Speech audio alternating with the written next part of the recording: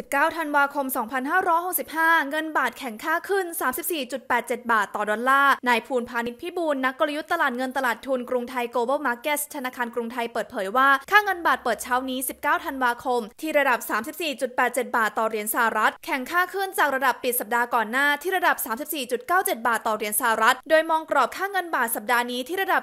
34.5 ถึง 35.2 บาทต่อเหรียญสหรัฐ ส่วนกรอบเงินบาทวันนี้ค่ะ คาดว่าจะอยู่ที่ระดับ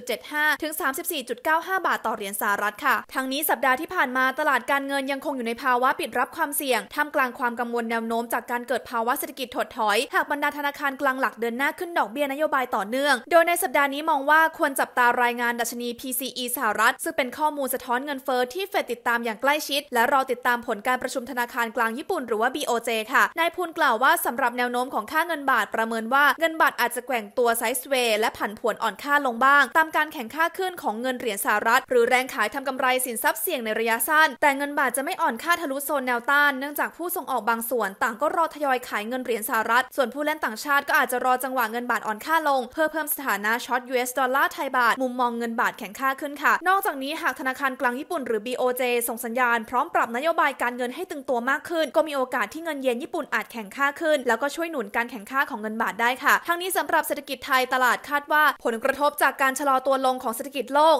จะทำให้ยอดการส่งออกในเดือนพฤศจิกายน อาจหดตัวต่อเนื่อง 5%ในขณะที่ยอดการนำเข้าอาจขยายตัวราว 0.6%ทำให้ดุลการค้าอาจขาดดุลราว 100 ล้านเหรียญสหรัฐค่ะ